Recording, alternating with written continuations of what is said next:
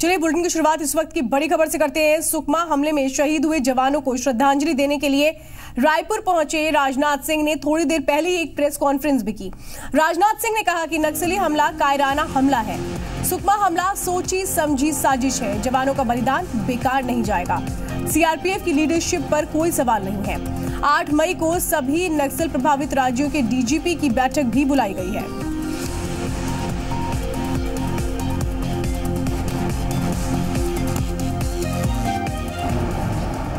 कल सुकमा में वामपंथी उग्रवादियों के द्वारा जो हमला किया गया है, उसे मैं बेहद कायरतापूर्ण मानता हूँ और इसे दुर्भाग्यपूर्ण भी मानता हूँ।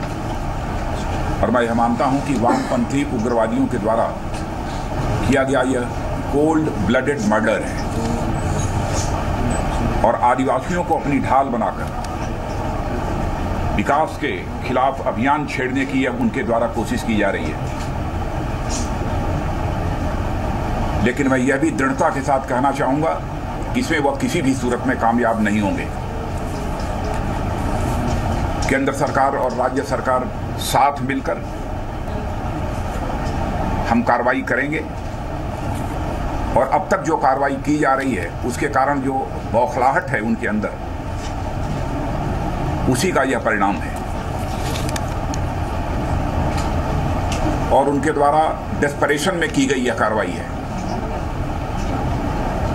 इतना ही मैं कहना चाहूँगा कि हमारे सीआरपीएफ के बहादुर जवानों का यह बलिदान किसी भी सूरत में हम लोग व्यर्थ नहीं जाने देंगे। हमने इसे चुनौती के रूप में स्वीकार किया है। इसीलिए यह भी फैसला किया है कि हमारी जो एल डब्ल्यू ई की स्ट्रेटजी है, उसको हम पुनः रिव्यू करने जा रहे हैं। ज़रूरत होगी तो हम उसे रिवाइज भी करेंगे।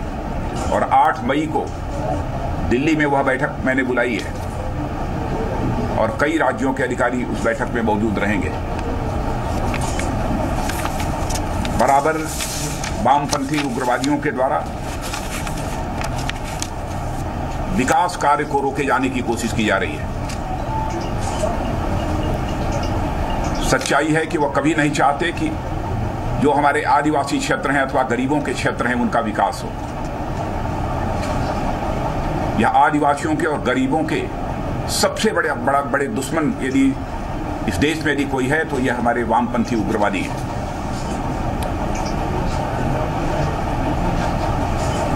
अब हमारे 25 जवानों की जाने गई हैं, सात घायल हुए हैं। जिन हमारे बहादुर जवानों ने अपना बलिदान दिया है, उनके प्रति मैं श्रद्धांजलि अर्पित करता हूँ। और उनके परिवार के सदस्यों के प्रति अपनी संवेदना और सहानुभूति भी व्यक्त करता हूँ। और पुनः मैं यह कहना चाहूँगा कि हमारे बहादुर जवानों का यह बलिदान हम किसी भी सूरत में व्यर्थ नहीं जाने देंगे।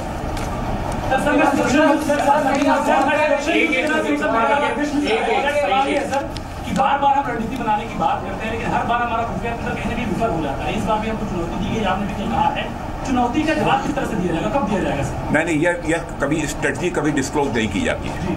ये बात तो मैं समझता हूँ कि आप लोग भी समझते होंगे। स्ट्रेटजी कभी ले ले ले ले ले ले ले अभी भी बैठकर पूरी बातचीत की है और पूरी जानकारी मुझे प्राप्त हो गई है। और और और इसीलिए हम लोगों ने तय किया है कि 8 मई को ही बैठकर हम अपनी स्ट्रेटजी को रिवाइज करेंगे रिव्यू करेंगे यह फैसला किया है। बीजेपी की सरकार है की के मुख्यमंत्री है आप एक के बाद आप कहते हैं कि नक्सली गतिविधियों में कमी हुई? लेकिन लगातार उसी जगह पे सुनवा के उसी इलाके में एक महीने पहले मैंने मैंने मैंने कहा कि नक्सलवाद के खिलाफ जो यहाँ की राज्य सरकार और केंद्र सरकार ने मिलकर अभियान चलाया था उसके परिणाम स्वरूप एक डिस्परेशन उनके अंदर पैदा हुआ है।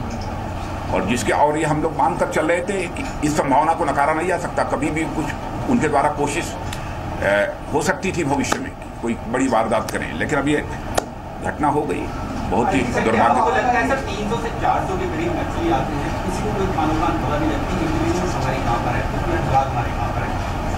है मैं समझता हूँ कि ऐसी घड़ी में किसी पर दोषारोपण करने का कोई औचित्य नहीं है और यह करना नहीं चाहिए। आप सबका भी सहयोग चाहिए। और आज हम लोगों की बातचीत हुई है सारे अधिकारियों के साथ। हमारे यहाँ के मुख्यमंत्री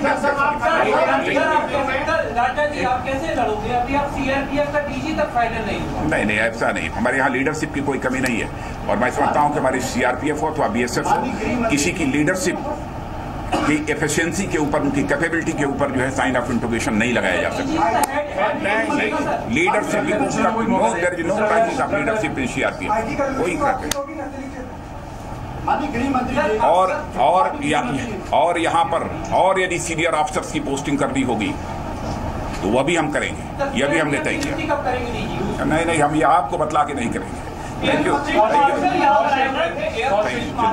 यू क्या कुछ अभी स्ट्रेटजी एयरफोर्स की भी यहाँ पर की बढ़ा नहीं जो कुछ भी है स्ट्रेटजी आप लोगों को पहले भी मैंने बताया कि कभी भी स्ट्रेटजी डिस्क्लोज नहीं की जाती है। क्या कर रहे हैं कैसे कर रहे हैं? वहाँ से आईटी लेकिन लेकिन लेकिन लेकिन लेकिन इलाकों में राजनीतिक नेतृत्व की कमी भी एक वजह है ताकि माओवादी बार बार उनको अपना बनाने की कोशिश करते हैं क्योंकि लीडरशिप पॉलिटिकल लीडरशिप का एक वैक्यूम है।